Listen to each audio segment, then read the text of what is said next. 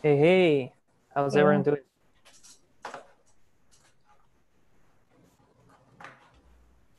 All Hello. right, Thanks. we got some people in.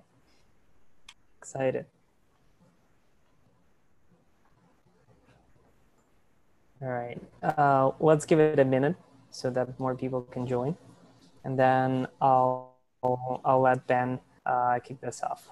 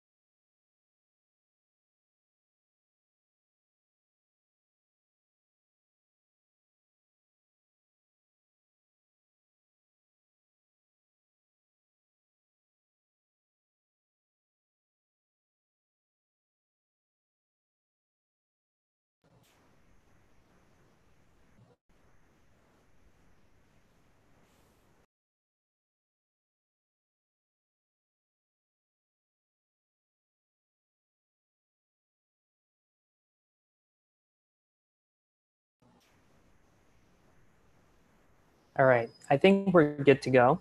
Uh, we have 15 people in here, and I'll just quickly introduce the the purpose of this meeting is to to give more information about Indra and kind of understand how we can more efficiently collaborate. And we've we've had Ben and John in our community since like April, I believe, and there are just a lot of amazing things that they're working on, and we would like to to expand the um, these amazing things to to the community overall. And I'll let you, Ben, kick it off. Uh, thanks a lot. Thanks, Arthur, for setting this up, uh, especially on such short notice. And thanks to everybody who joined. Um, so I'm Ben Gyori. I work at Harvard Medical School, and um, I'm leading a, a team within a larger lab called the Laboratory of Systems Pharmacology, which uh, uh, studies uh, the mechanisms of drug action on human cells and tries to sort of reinvent the science of drug discovery. Um, and our team that that that uh, uh, John and I are uh, leading uh, is working on a variety of computational methods to um, accelerate scientific discovery in various ways.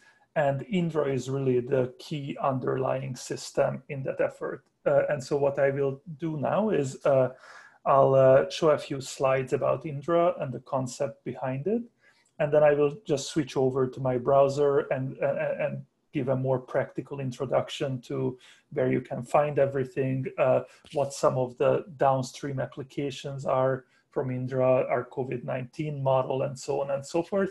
Um, and we can make, especially that part, we can make it a back and forth discussion, and I'm happy to answer questions uh, along the way. Uh, all right, so I'll start with uh, slides.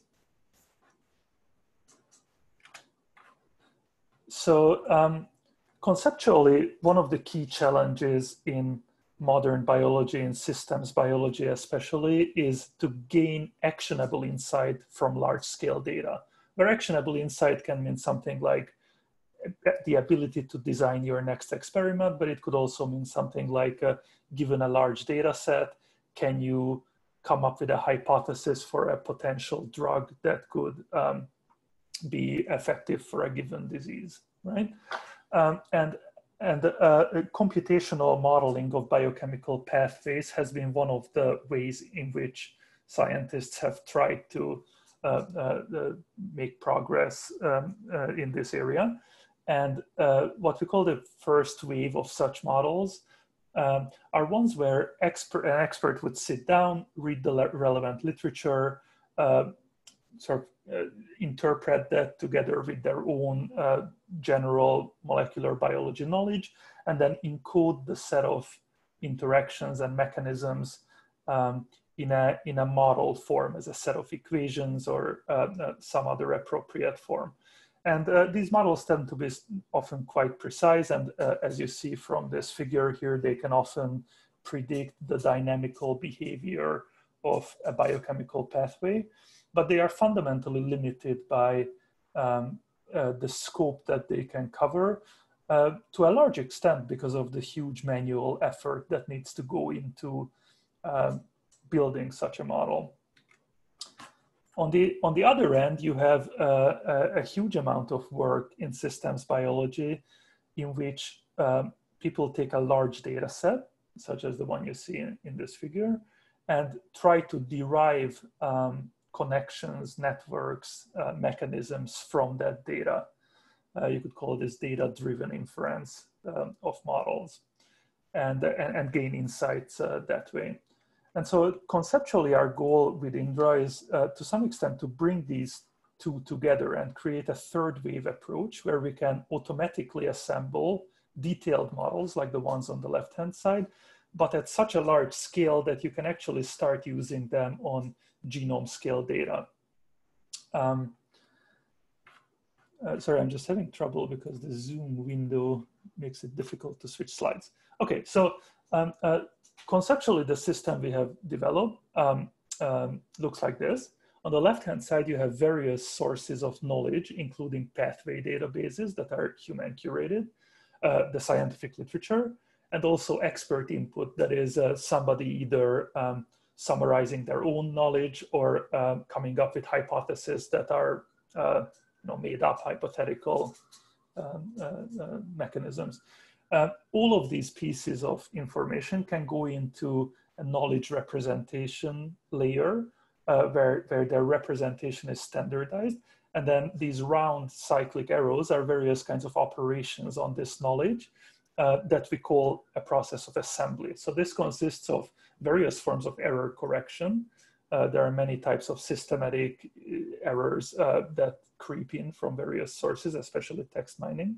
Redundancy resolution, which is very important, both, both at the level of entities, that is the various ways in which certain things are referred to uh, in, in different sources, but also at the level of mechanisms. Um, relevance assessment for a particular use case or data set.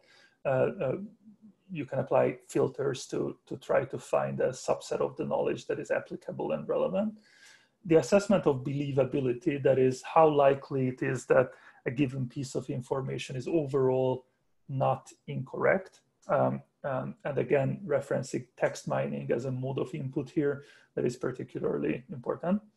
Uh, and inferring missing information when you, when you take um, millions of fragments of individual mechanisms, you can actually often infer pieces of information that weren't explicitly there from by, by putting together these fragments.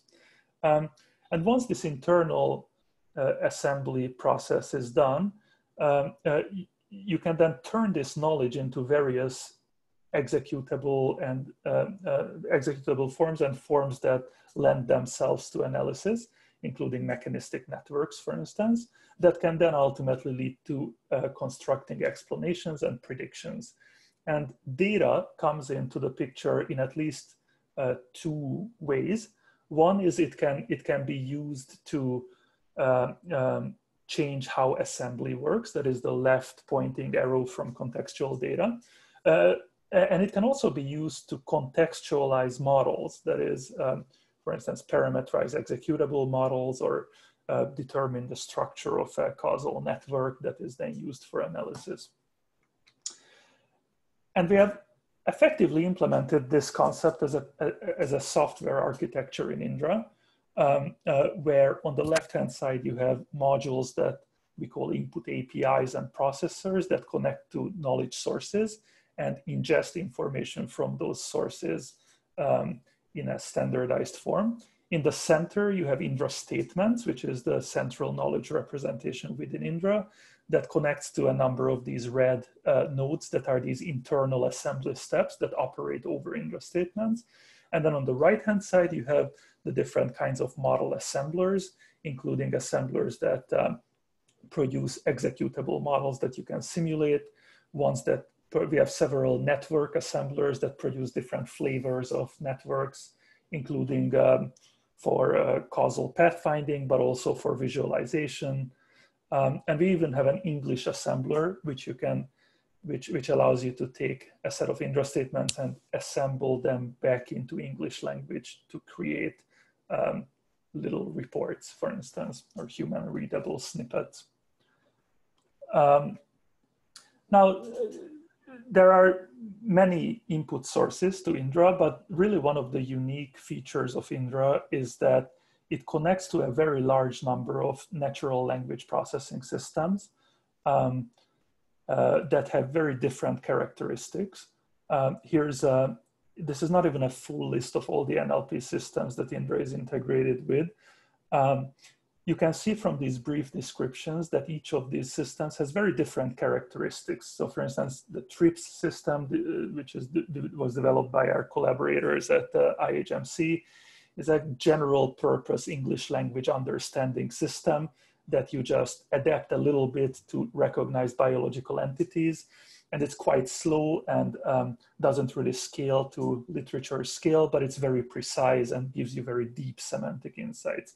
In contrast, the REACH system, for instance, uh, gives you much less semantic detail, but it's very fast and you can run it on a, on a large body of text and it's, uh, it's actually based on human engineered rules over a dependency parse of, um, uh, of text um, and so on and so forth. Um, we also have a number of general purpose causal relation reading systems that aren't that don't have anything to do with biology they are just they are developed to extract causal relations from any text but you can actually as i will show later you can actually apply this to biology as well um, and then you run these systems and you get these fragments of mechanisms from them uh, like the boxes on top here, MEK phosphorylates ERK, uh, MEK1 phosphorylates ERK2 at T185, and so on and so forth.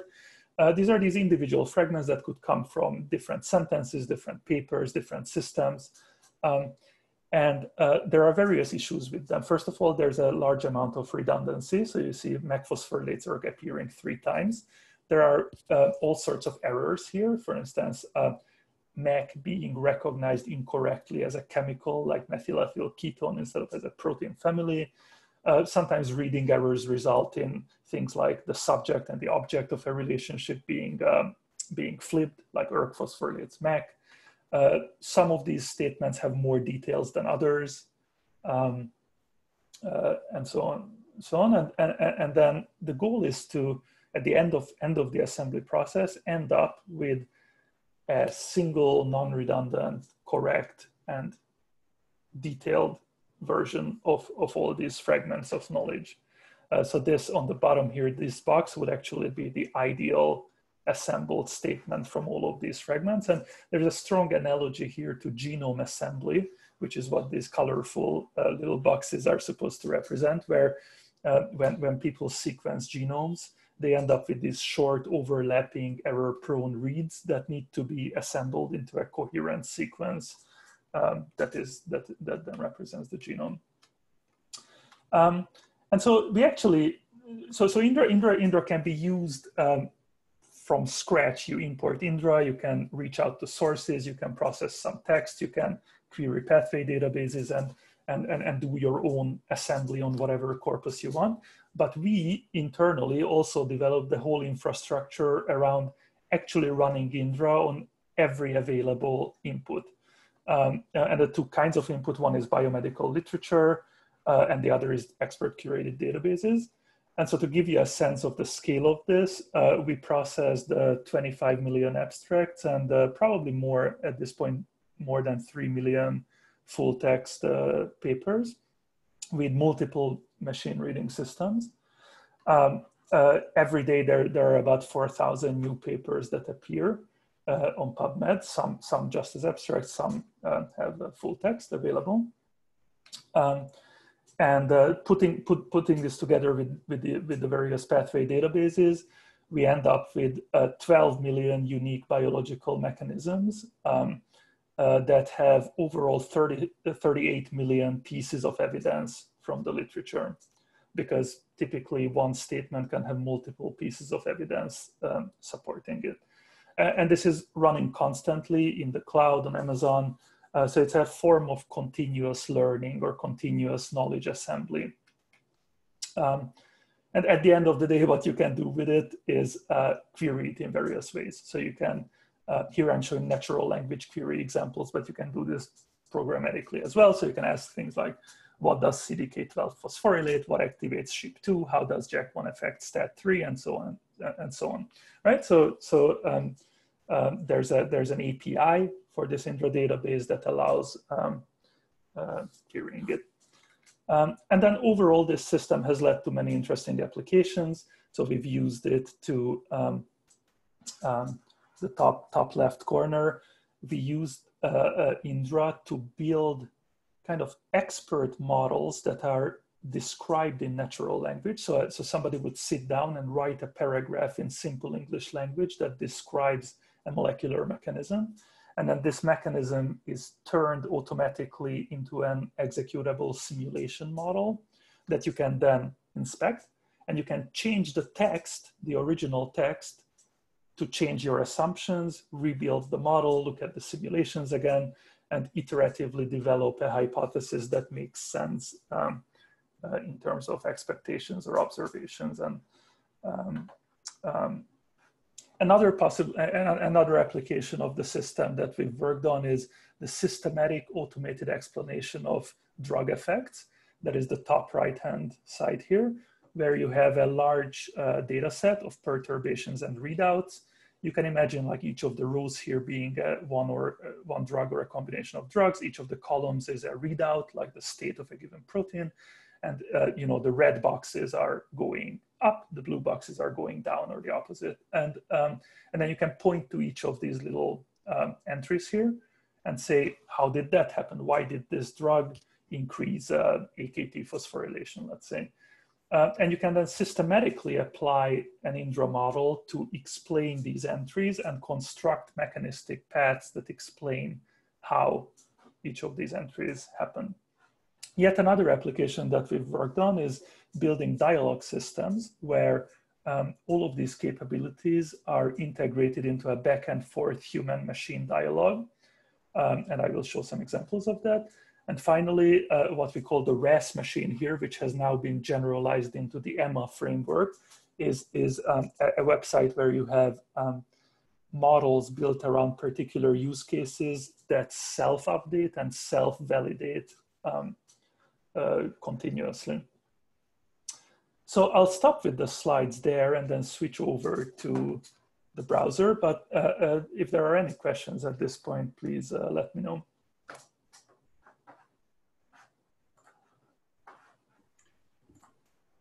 I have a question about language support. So for example, if we have uh, Dutch language models, can we easily integrate it inside of Indra? Indra? Well, the, the language, language integration would be mostly done at the level of the reading systems. And um, at least two of the reading systems that Indra is integrated with, namely Reach and Eidos, uh, mm-hmm. uh, have been adapted to other languages because some of these um, dependency parsers um, that, that the reading systems are built on top of um, uh, can easily be switched from one language to another. And so, for instance, Eidos has been applied to Portuguese for a particular use case. Um, so that happens at the level of the reading systems. And what we see is the machine representation of the output um, uh, that uh, is supposed to be, uh, for the most part, language independent. Mm-hmm. Um, and uh, so after you will get like two languages integrated, uh, how actually it works? So you need knowledge graph uh, to link all these entities in different languages. Well, if we were to, yeah, if you, I mean, I, I would say that um, if you assume that uh, you recognize entities and relationships between them from multiple languages in a way that those entities are grounded to an ontology, then mm-hmm. it doesn't really matter what language they originally came from, right?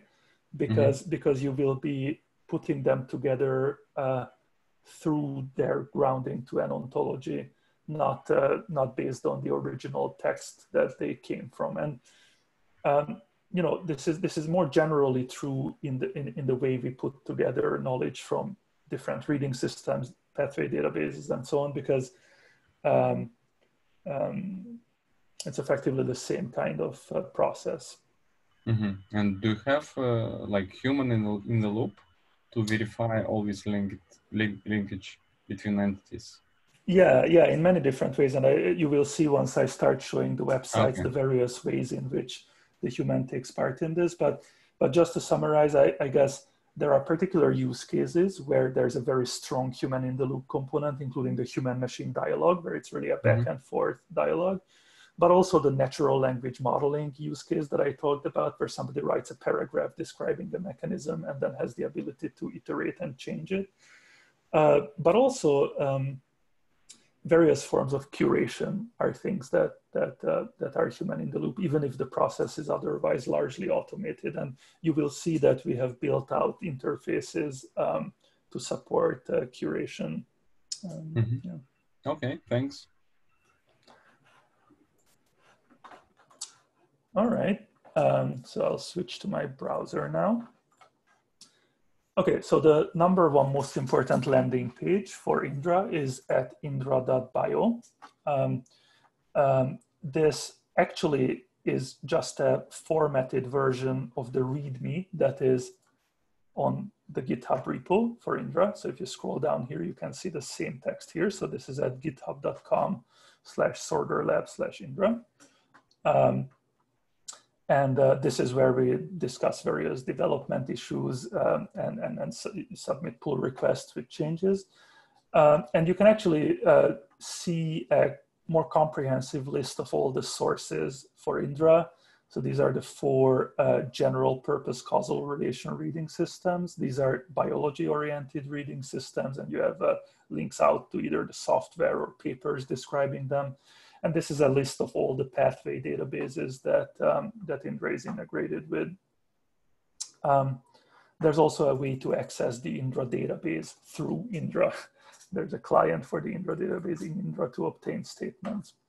Um, and it might be interesting because some because Slava and others have worked on this. Um, Indra also has a hypothesis integration, which allows you to select some text on the web, um, paraphrase it in simple English and, and, and, and save it. And then Indra has a way of pulling these in, processing them into Indra statements and making them part of any kind of assembly. Uh, and then on the output side, this is the comprehensive list of all the various assembler modules that you can use to generate uh, you know, simulation models, uh, uh causal network models, um, and uh, Cytoscape.js, which you can display in a browser, um, etc.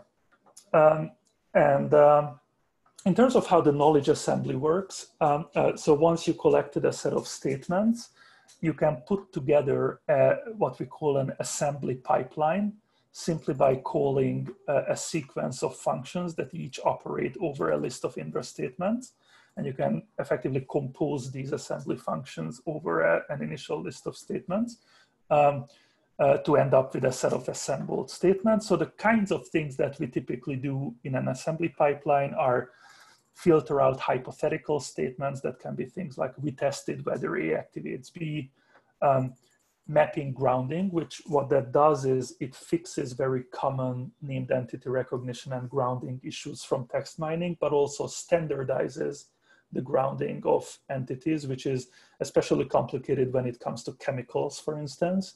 Uh, so this process makes sure that that the various chemical namespaces are mapped to each other in a way that you can correctly find overlaps between things. It also standardizes the names of things. So when they come out, uh, when, when each of the entities come out of this process, they typically have standardized uh, names assigned to them. Um, you can filter out any ungrounded entities. You can filter out non-human genes if you're not interested in non-human genes.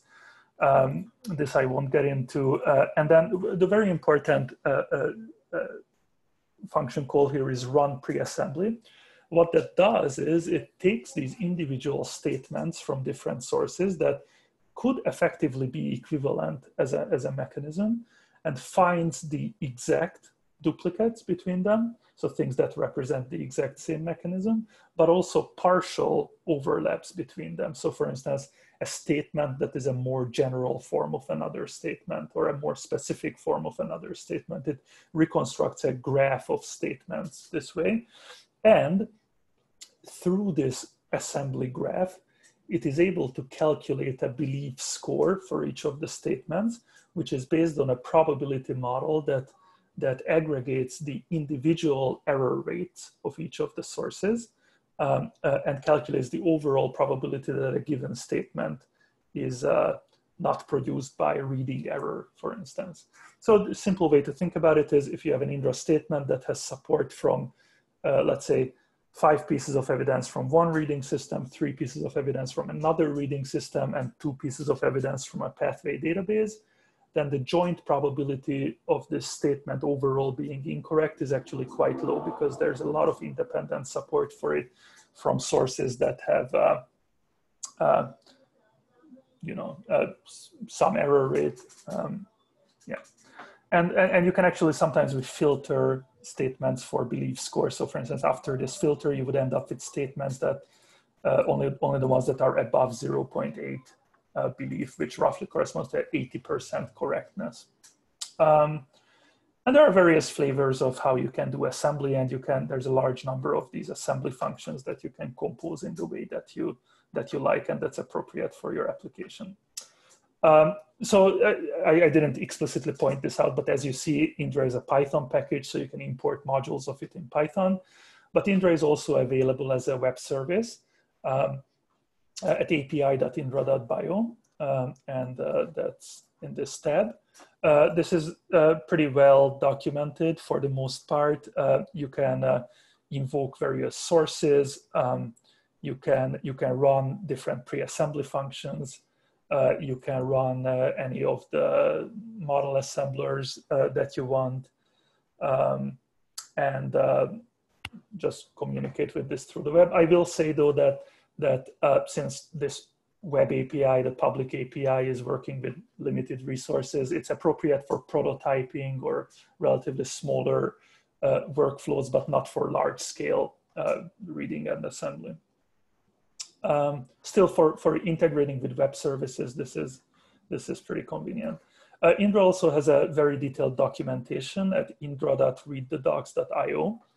Uh, I would especially highlight the Indra modules reference, which uh, is really quite comprehensive in, in, in, in, the, in a, as a technical documentation of all the modules of Indra. And you can click on any of these and, and, and, and take a look what's there. So, you know, the random module I clicked on, you see the documentation of all of the functions.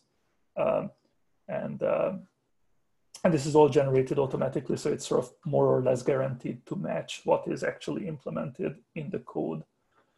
Um, so that's the documentation. Uh, if people are interested in, in, in um, we have a few publications about Indra and related topics, but really the most um, detailed and and and most uh, um, relevant publication for reading about Indra is this paper from 2017 called From Word Models to Executable Models of Signaling Networks Using Automated Assembly. And this paper doesn't yet discuss uh, literature scale assembly uh, because at that point we were focusing more on small scale assembly of going from text to models. But still, this is a pretty good description uh, of, uh, of what Indra is and the concepts behind it. Um, okay, any questions about uh, Indra in general?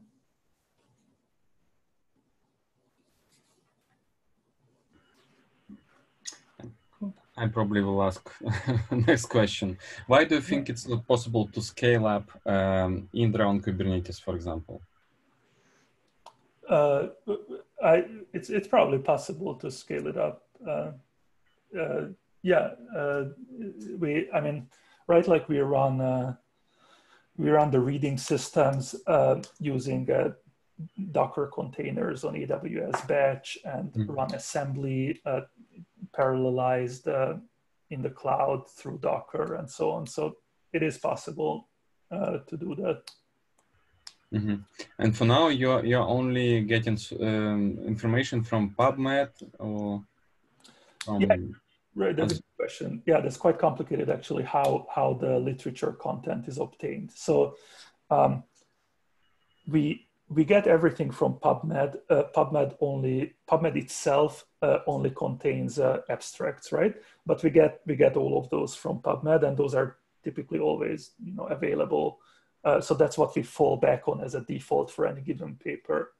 Uh, in addition, we take everything from PubMed Central, which has two components. It has a set of open access articles, and it has a set of so-called author manuscripts uh, that have different different stories for why how, how they come about but to, together they cover about um, 20 plus percent of published literature um, uh, so those are available as full text in a machine machine readable form in the sense that uh, uh, PubMed Central puts up these uh, so-called NXML files. They are a flavor of XML that can be easily processed into you know separating the metadata like author names from different sections from the bibliography and so on. So that's very nice and, and, and good to work with. We also have institutional license uh, to elsevier through harvard and elsevier has a very good text mining api and elsevier is the biggest publisher out there so so that accounts for like 12% of published biomedical literature.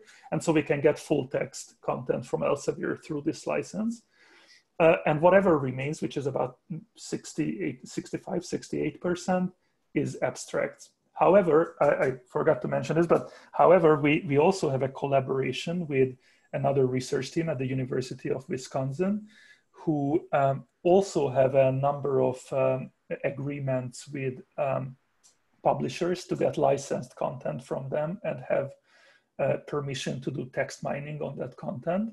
And they also have a pretty good quality PDF to text pipeline. And so we, we sort of source out some of the literature reading to their servers and get back the results. And I can't, can't say exactly how what percentage of literature that accounts for. But for instance, nowadays, when we process uh, preprints uh, or uh, other PDF-like content from publishers, it actually goes through that infrastructure and comes back to us as a set of INDRA statements. Mm -hmm.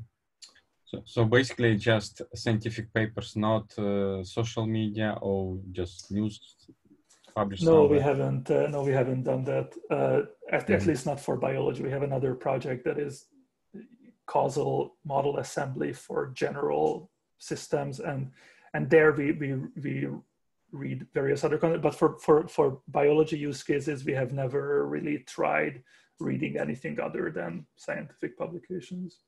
Mm-hmm. Okay, thanks. Well, I mean, one could argue that reading Wikipedia um, or textbooks or whatever could be useful. Uh, no, I, I, don't have any argument against that. It's just we haven't done that. Mm-hmm. Okay. Um, cool.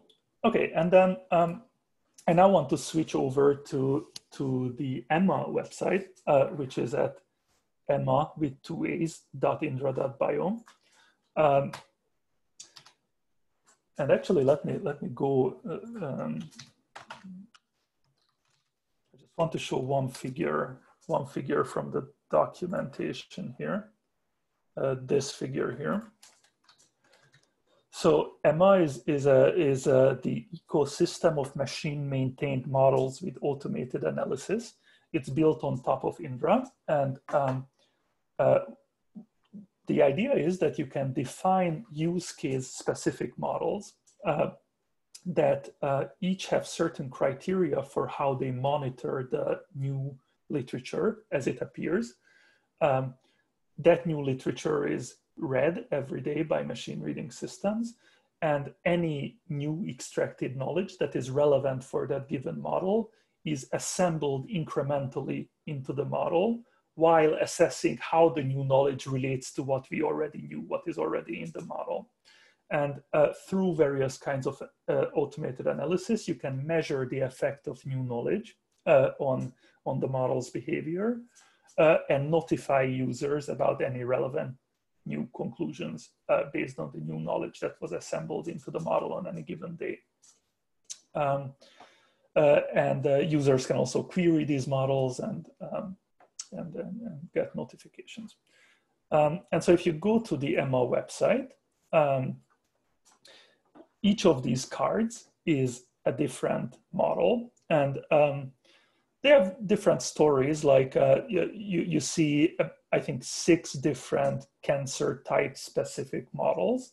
Uh, like AML, breast cancer, lung cancer, um, melanoma, and uh, pancreatic cancer, prostate cancer. The way these models are built is that we look at statistics of mutations in patient tumors uh, and try to reconstruct the relevant pathways around the typical mutations in these types of cancer, and then um, uh, keep those updated as models. There are also models that are pathway specific. So for instance, the RAS machine is a model that is built specifically around the RAS signaling pathway, which is very important for cancer and other, other processes. Um, there are some models that are actually not built from the literature. They are, for instance, this RAS model and uh, the MARM model, they are actually built from natural language descriptions written by, by us, by, by, by human humans uh, uh, as specific hypotheses. So these are much smaller, uh, carefully tailored models, but they are still automatically assembled.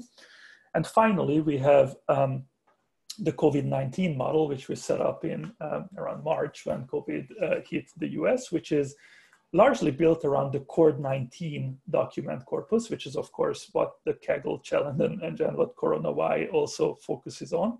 But uh, though initially it was really exclusively just based on CORD-19, more recently, we have actually started adding to this new literature that we know is relevant for COVID-19, but isn't necessarily part of CORD-19. And also we have extended this model with some targeted queries into pathway databases, including, for instance, drug target databases um, um, that add crucial pieces of uh, knowledge to this model. Okay, so you can click on any of these uh, uh, any of these models and look at their details. Um, and there are two main tabs on each of these pages. Um, once it loads, I, I, should probably click this and show you this too. Uh, you can actually link out to this website called NDEx, where you can uh, look at the network view of these models. For some reason, the network styling isn't correctly set on this model. Maybe I should show a, let me show a different example that looks nicer. Um, uh, for instance, uh, let's look at the RAS machine model and see if that looks better. Oh yeah, this one has the proper network style. Um, uh, so this is kind of an interactive browser. That is a, this is a third party website, but it's quite useful in that you can visually explore the different relationships. You can click on any of the edges, look at at least one evidence sentence, link out to the PubMed paper, um, um, you can click on the nodes and, and, and link out to uh, databases that they appear in. Uh, so this is a kind of third-party browser, but but what I'm actually gonna focus on is uh, what you can do on the EMMAA website itself. And this was when I clicked on the COVID-19 model, this is the page I, I landed on. So you see two tabs here, model and tests. On the model tab, you see basic metadata about, about what this model is when it was last updated. It's, uh, it looks like it was updated today as expected. Um, you can look at the distribution of statement types. These are Indra statement types. You can see that a lot of the information in this model is of the form activation and inhibition. So for instance, things, something like, uh, you know, uh, ACE2 activates IL-6 or something like that um, would be an example and relatively fewer detailed mechanistic statements here. Um, you can also see what the top 10 agents are, the top 10 sort of concepts that are represented in the model. And you see a mixture of uh, high level concepts like infections, disease, and, and the molecular entities like uh, interferon or TNF or IL-6. Um, in terms of knowledge sources, uh, the top sources of knowledge in this model are uh, uh, text mining systems, Reach, Sparser, and Eidos. Are, are, all three of those are text mining systems that produce a lot of content for this model. And then you see a number of pathway databases here, including CTD, the Comparative Toxicogenomics database, um, which seems to have contributed quite a lot to this model.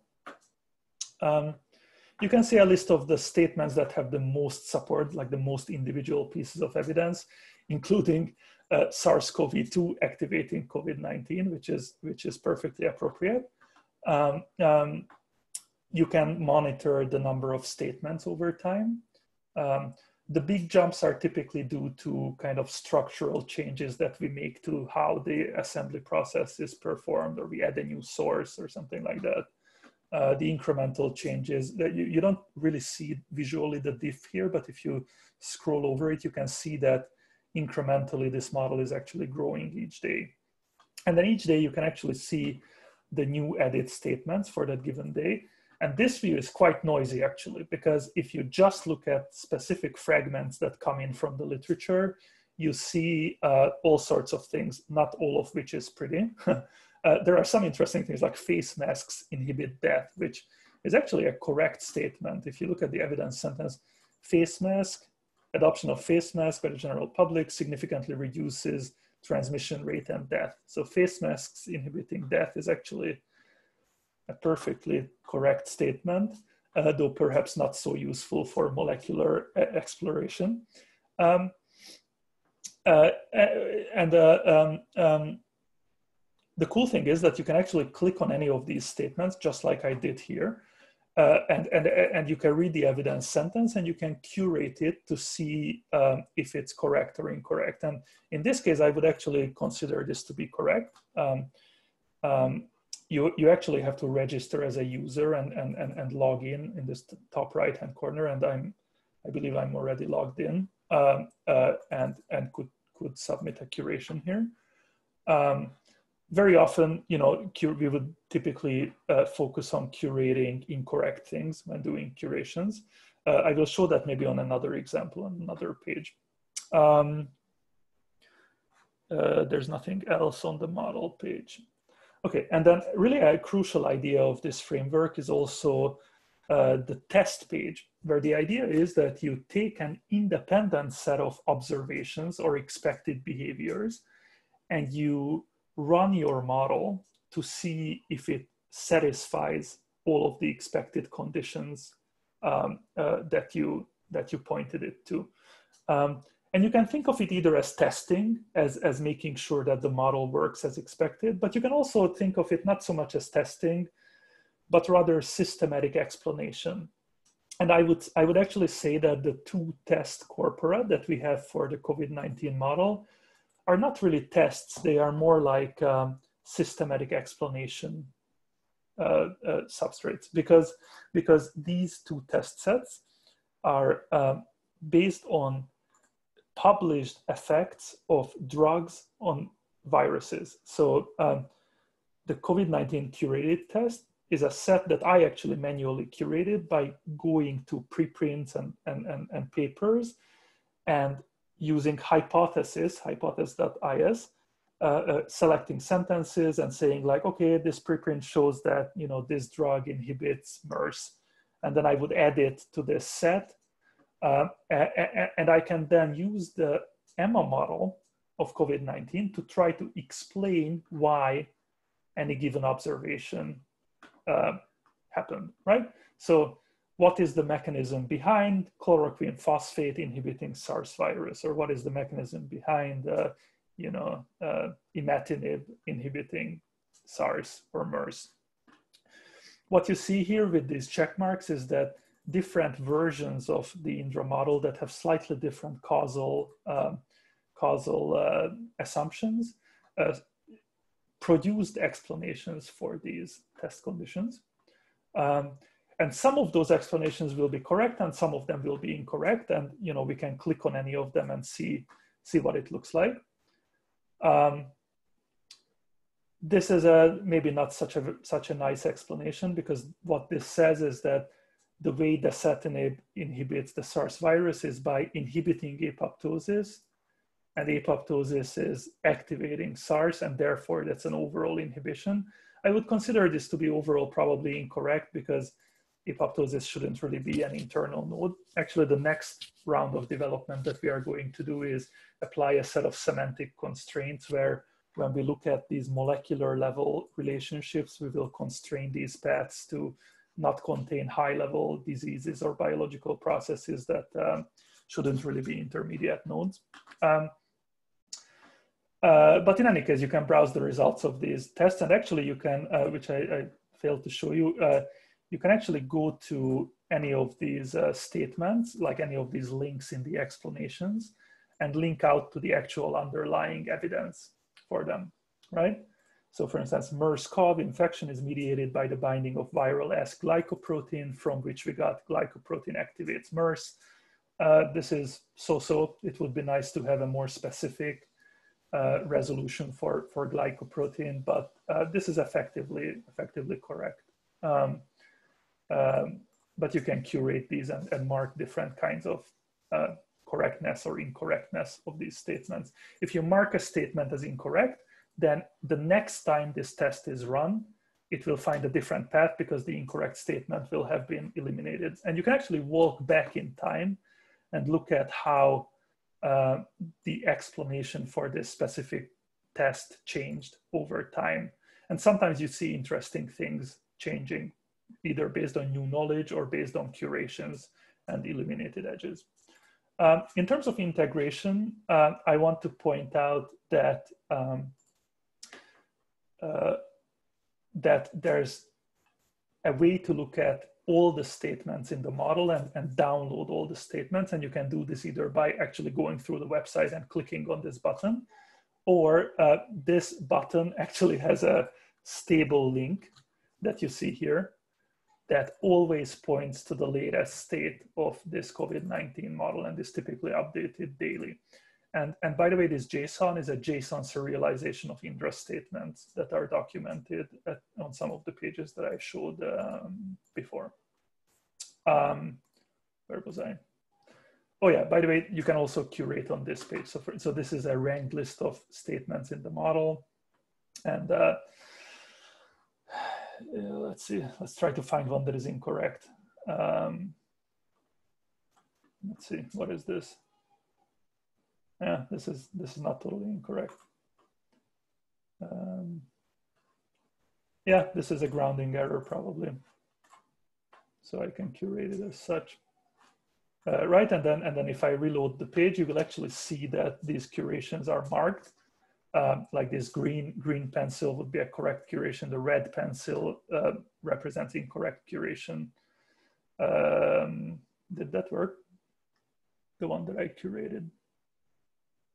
I can't find it anymore. But yeah, that's how it's supposed to work. It's supposed to actually show you whether something is correct or incorrect. And the ones that are incorrect are over time eliminated uh, uh, from the model.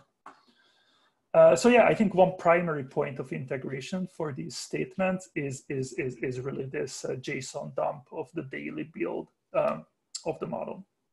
Uh, uh, one thing that Slava asked for, I believe, is um, is how to link to any one specific statement. So for instance, if you build some downstream application and want to link back to one specific statement, how do you do that? And the way to do that is if I click on this JSON button, you will see what I what, what happens here. Uh, the way to do that is, is to construct a URL that has the specific statement hash in it. So each statement has a, a few different identifiers, one of which is this hash and, and, and there, are, there are ways to construct a URL that is specific to a statement hash, and, and you can see this one statement here with all of its evidences. Um, uh, so yeah, there's a way to do that too. Um, I think that's all I wanted to show about EMMAA. And since we're 50 minutes in, uh, we can either just do Q&A from here on out, or I can show the dialogue system briefly um, if people are interested. Yeah, let's give it a moment for Q&A um, and see if people have any questions. I have a question about your, uh, your, your, your, chart, your graph. Rendell, uh, your volume is very quiet. The Maybe adjust the microphone to be louder.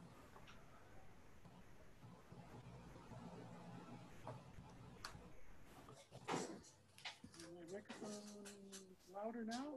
That better? No, still very quiet. I can I can kind of make out what you're saying. Uh, uh, so let we can try, but yeah, it's still quite. I was just quite a- trying to understand the, the red chart that starts out at 100% and then goes down. Ah, Yeah, what does that represent? ah, good question. I should have I should have pointed that out. Um, so that was on the test page, I believe. Uh, how do we get back there? Let's just go through here again.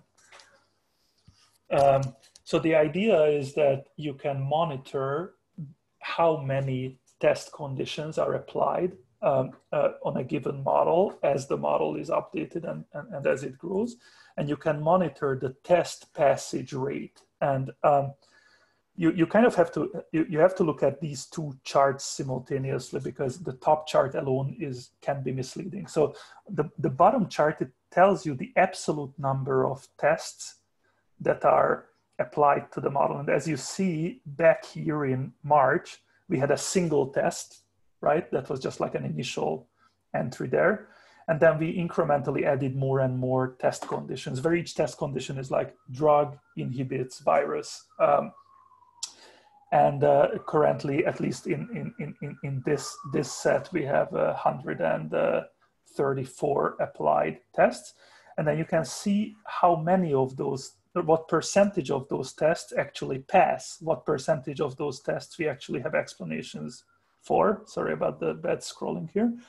Uh, th th this, this chart doesn't start at zero, it starts at like 88. So what you see here in the end is actually a 91% passage rate. That is out of these 134 applied tests, 91% uh, uh, had some explanation in the model. And then the various weird jumps here are typically because of either temporary technical issues with the model or some change that we make to the overall process. Um, and the smaller, the smaller incremental changes are the ones that are kind of naturally occurring. Um, uh, but but another way of thinking about this test is assume that, for instance, you you add some knowledge to the model that disrupts its behavior um, you might be able to detect it here as a drop in either the number of applied tests or past tests. So for instance, at this point, you see this big dip here. Um, that was actually due to a bug in the way we did a planned model extension. We wanted to add a certain new source to the model, but made a mistake. And you can actually see that it disrupted the function of the model.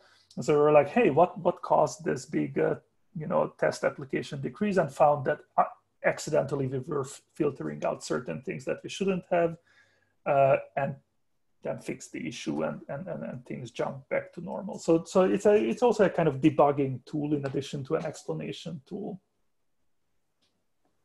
Thank you. Um, I have a question about, you mentioned that language models would go to ontologies.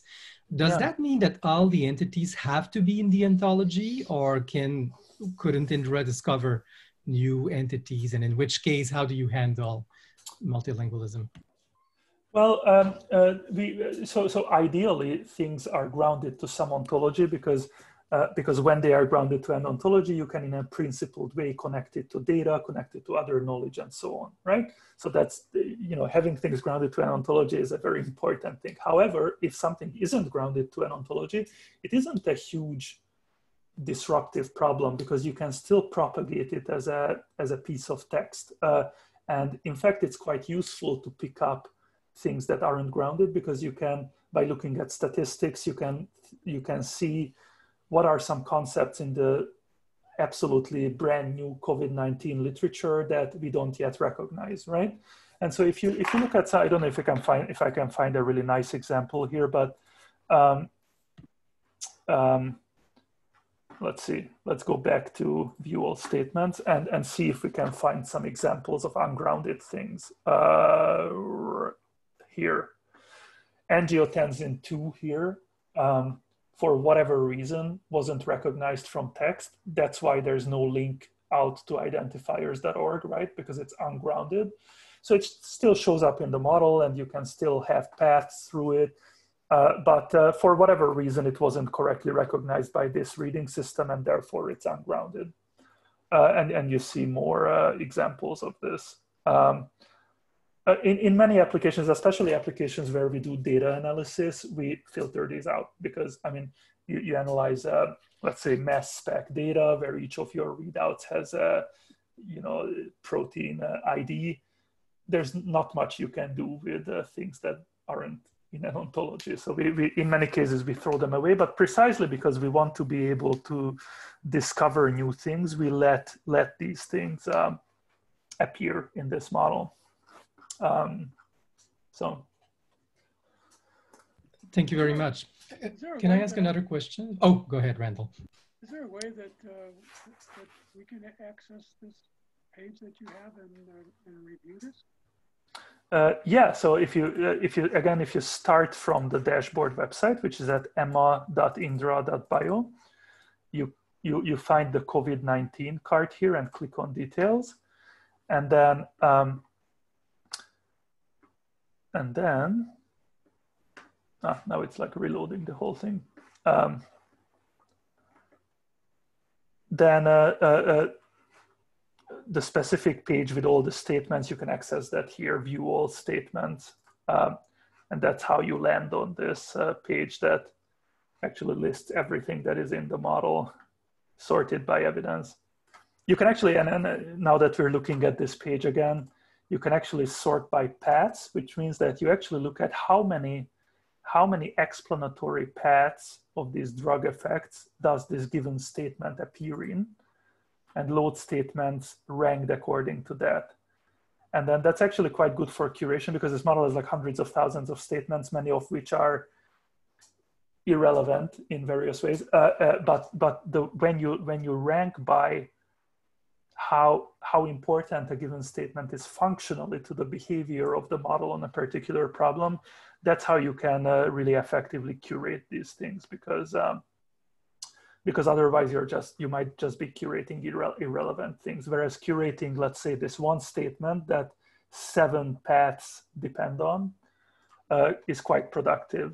Um, um, what does that mean when you say seven paths depend on yeah so it, that, that goes back to this test tab right the test tab where we had these uh, i'm terrible at navigating these pages but the test tab where you have these drug effect tests for which we construct explanations, right?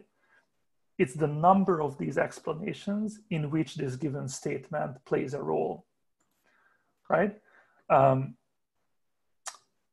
um, this is interesting because I think I just found a relevant incorrect statement. What you see here is that you have a sentence saying apoptosis is induced by SARS-CoV, whereas what we get here is apoptosis causing SARS. So this is actually incorrect. I would tag this as a wrong relation here. And with this one curation, I will you know, eliminate these seven errors from, from these paths, and they will then be replaced by some other link the next time the paths are calculated.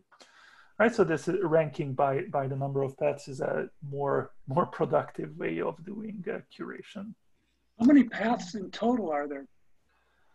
Well, uh, we don't um, we don't display all the paths. So what we do is, um, oh, I'm, I'm, again lost here. Uh, yes. So for each of these tests, presumably there there's more than one explanatory path.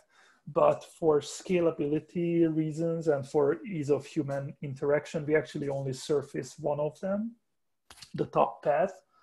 Uh, and uh, so basically it's one per test. So in, in this corpus, we have 130 tests, but there's this other corpus actually, which is much larger that I haven't loaded yet, that has um, upwards of 2000 uh, drug virus relationships. Um, and so that, that has a larger number of uh, such paths. This is actually one of so, the- So is a path, is a path just a way of, uh, of uh, expressing a relationship uh, with uh, a variety of nouns and verbs, uh, but they all they all come down to a, sim, a, a, single logic, and that's your summary statement is the single logic.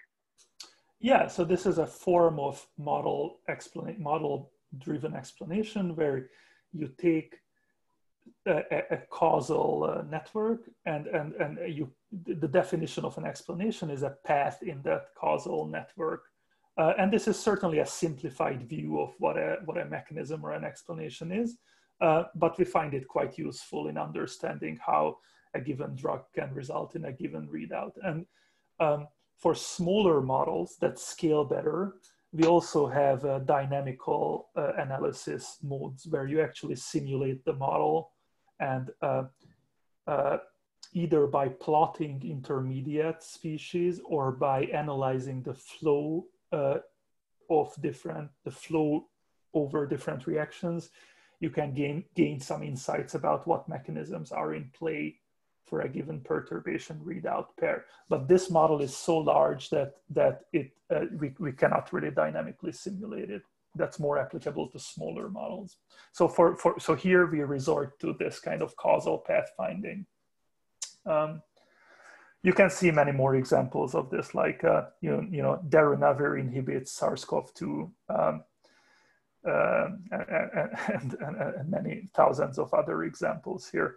Um, unfortunately, many of these explanations are, are not totally correct. And there are, um, you know, one way of one way of dealing with that is doing more curation, but another way is thinking about systematic ways in which these explanations can be improved, like uh, various semantic constraints over the paths. And but when uh, when someone when someone does a um, review and curates uh, a number of paths, does that modify the model?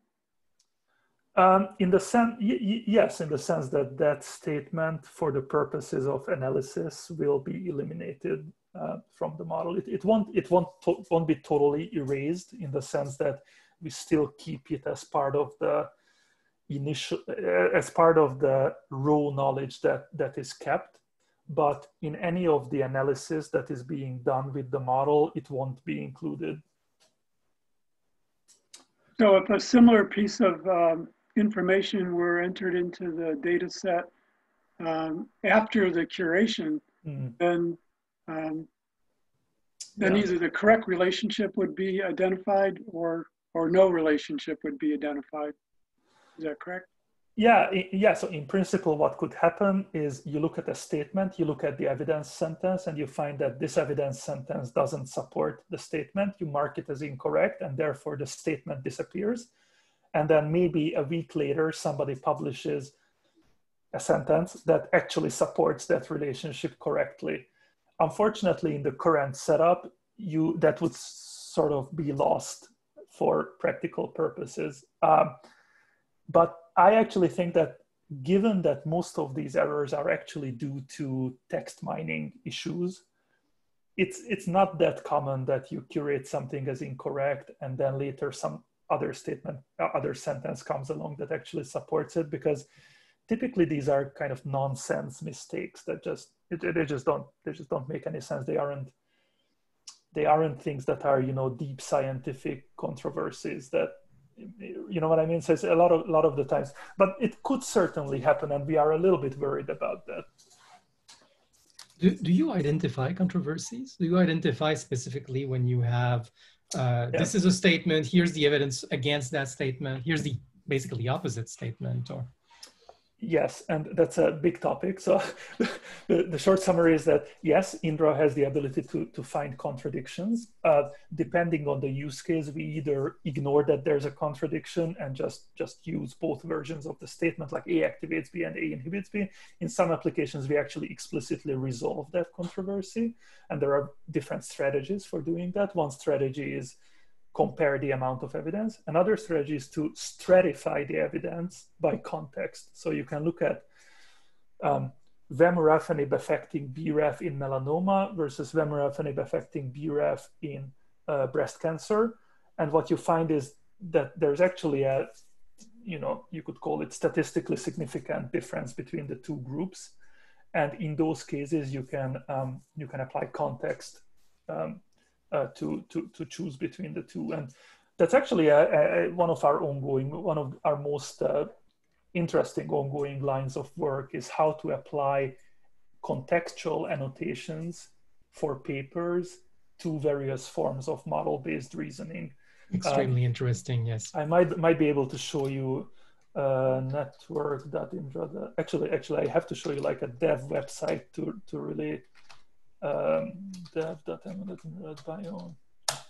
So this is not something that is supposed to be used yet, but I can show you um, this specific example, um, BRAF, and um, this is a network search where you put in a source and a target, and there are all these complicated settings for how you want to find pets. And you can actually put in a set one or more mesh IDs, which are can be diseases, can be um, it can be really anything that is in mesh.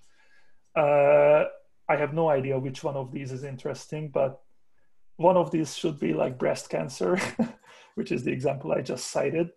And then, and then in principle, what would happen is that the paths would be filtered to statements that have evidences that are from papers that are about breast cancer, right? Um, and it actually often makes a big difference, especially in the path ranking, um, uh, what context you search in. Um, uh, so this is something we are trying to integrate in the various into the various applications that we develop and are quite excited about it. Um, Oh, there's a question on the chat. Um, I have to stop sharing to see it.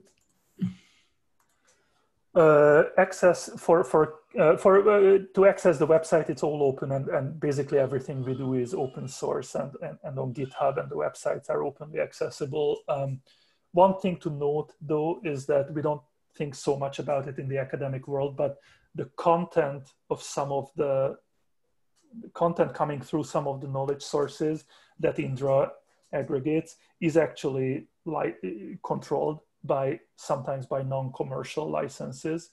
So for-profit companies actually have to look into the source of that knowledge and make sure that they are not violating the original usage rights. For academic uh, or non-profit research purposes, basically all of this is uh, all of this is you know good to go. Um, um, well, any anybody can make a make a change to. Oh, curations. Uh, yeah, yeah, curation. So, yeah, yeah. So the way it works is you have to register, but once you are registered, your curations go into the same set of curations as ours, and uh, we haven't yet encountered any any form of. Uh, you know abuse of of curations so uh, the, the curations from outside groups that we have gotten so far are are really great and valuable so we haven't had any issues with it Okay, thanks.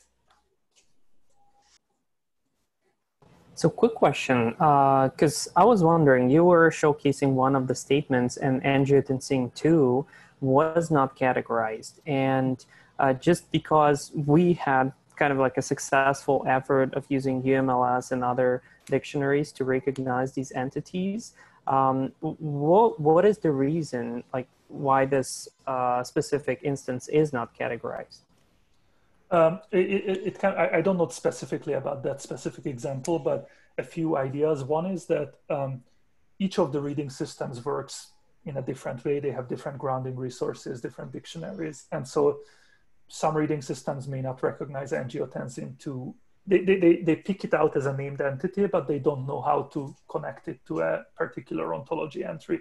And one reason for that may be that angiotensin 2 is actually it's not a full protein, it's actually a cleaved protein product. And uh, cleaved protein products aren't primary uniprot entries that you have to you have to ground them to a more complicated set of IDs. And that, that might be a reason why angiotensin 2 was problematic in that particular example. But I, we, I, am pretty sure we have versions of angiotensin 2 that are actually correctly grounded.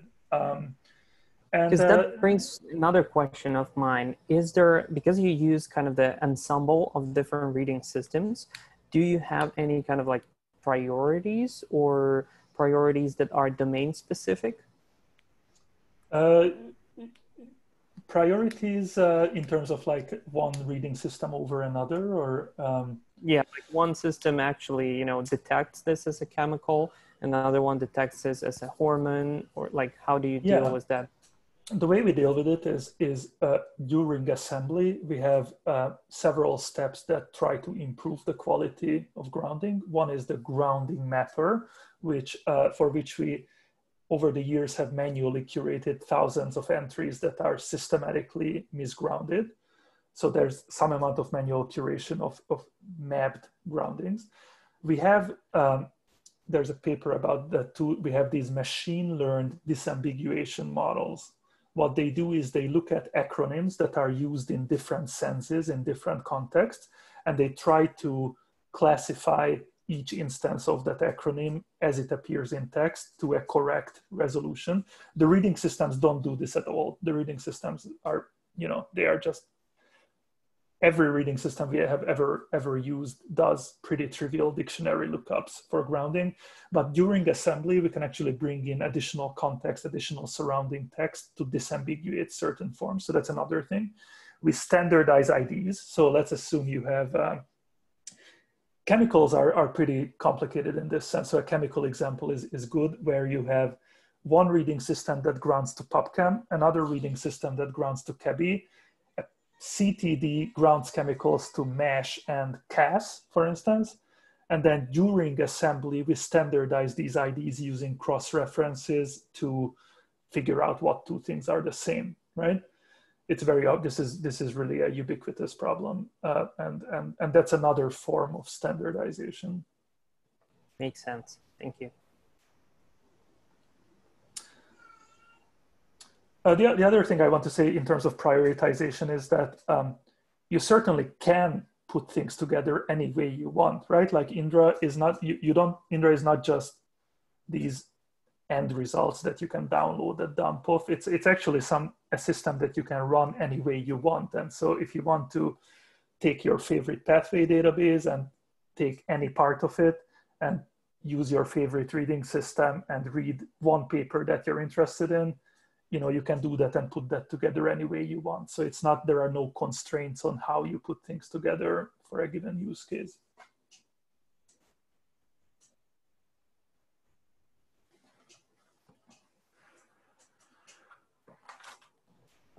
Great. Does anyone else have any questions?